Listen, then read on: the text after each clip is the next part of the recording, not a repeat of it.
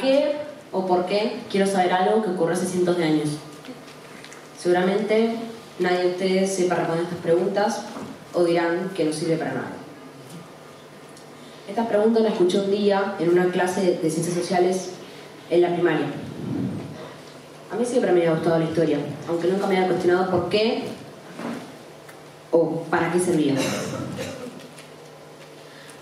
Esta pregunta sería título y tema de esta charla. Una compañera levanta la mano y dice, ¿para qué me sirve esto? ¿Para qué sirve la historia?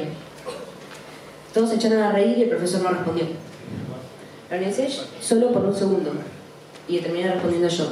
Porque sí, porque lo hice el ministerio. Si lo ven desde ese punto de vista, no tiene sentido que te lo enseñen. Obviamente, con el tiempo, esta pregunta fue evolucionando y cambiando. Le voy a dar un ejemplo concreto de por qué estudiar historia. Dictaduras argentinas, que seguramente acá todos conocen. Tuvimos seis dictaduras en un siglo. Seguramente que después de cada dictadura el pueblo se juraba evitar recibir otro dictador, pero al final venía otro. Tenemos que estar seguros de saber la historia y no volver a repetirla. Increíble, ¿no? Por más que lo pensemos y lo recordemos, se vuelve a repetir.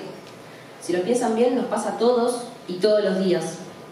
Un día nos olvidamos la tarea, por ejemplo, y prometemos que no va a volver a pasar, pero al final vuelve a ocurrir. Es normal. Pero tenemos que estar seguros de en qué mundo queremos vivir. A mucha gente que probablemente está acá no le gusta la historia. Pero alguna vez se pusieron a pensar por qué no le gusta la historia. Acá hay un gran problema que no es de la historia, sino de cómo y de qué manera los profesores llevan a cabo o desarrollan esa materia. Pasa en todas las materias, incluso la historia. Además está la gran rutina de las escuelas, rutinas pizarrón, carpeta, prueba, pizarrón, carpeta, prueba, de la cual hay que salir. Se tienen que abrir debates, por ejemplo, ¿están de acuerdo con el régimen que puso Juan Manuel de Rosas? Trasladarse al contexto histórico de determinada época. Todo aquello que esté vinculado con la mirada particular el protagonismo de cada chico. Salir del pizarrón, carpeta, prueba. Pizarrón, carpeta, prueba. Hay miles de maneras de salir, solo hay que animarse. Yo me salvé de no caerme en el agujero del desinterés hacia la historia, donde mucha gente cae, ya que tuve determinados factores que me ayudaron. Los videojuegos. Juegos clásicos como el Age of Empires 2 y el Civilization 5. Aunque preferiría que se concentren en Age of Empires 2, que fue mi primer videojuego en computadora. Había una campaña de Juana de Arco que me gustaba muchísimo. Año 2017. En el colegio acaban de arrancar las clases y nos pidieron que llevemos información sobre mujeres importantes para la historia. Claramente yo elegí Juana de Arco.